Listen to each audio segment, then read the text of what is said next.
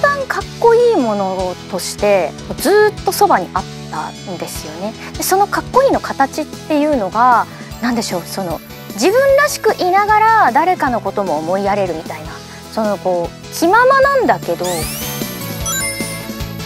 はい自己紹介させていただきます。えソニックトゥーンにてスティックスそしてねソニックフォースにてアバターの声を担当させていただいております声優の悠木碧です。よろしくお願いします。両親ともゲームが好きなので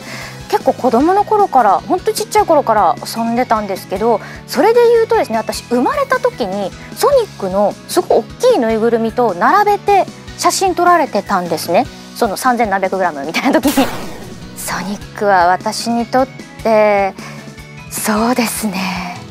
なんかずっと憧れのお兄ちゃんなんですけどもうあいいなかっこいいな。でも追いつけた試しは一度もないですし徒競走とかめちゃ遅いですしなんかこう心的な意味でも体的な意味も絶対に追いつけない。でもいつの間にか年だけは追い越してしまったと思ったら、えー、30周年でそして私もねあの来年の3月にその30を迎えるんですけれども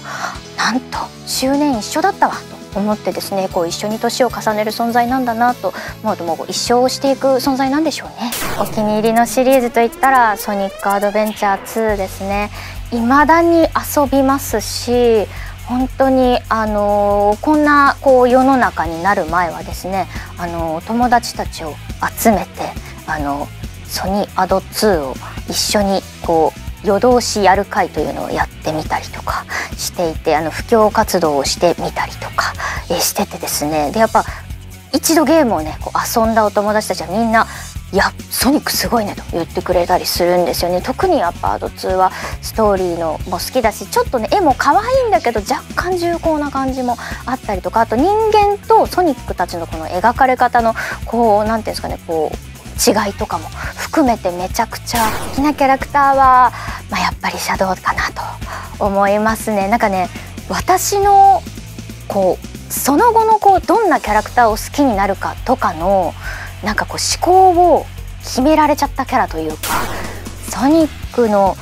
思い出いっぱいありますけどやっぱりあのトゥーンのシリーズを収録させていただいてた時ってあの憧れの本当に私が子供の頃からやってきたゲームの声の人たちっていうことにあのすごい感動してですね一緒に撮れてて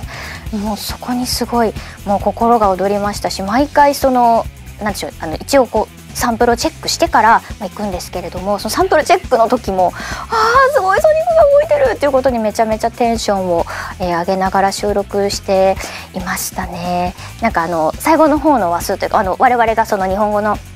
機会をさせていただいているあのタイミングのあの最終回近くになるんですかねあれ。に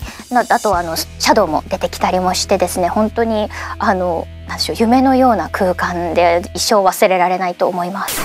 末永く末永く世界中の人に愛されているコンテンツですしキャラクターですからあのいろんなことにこれからもチャレンジしていってくれたらいいなと思います。とにかくあのソニックが末永く末永く楽しく世界中を駆け回ってくれたらいいなと思っています。ありがとうございました。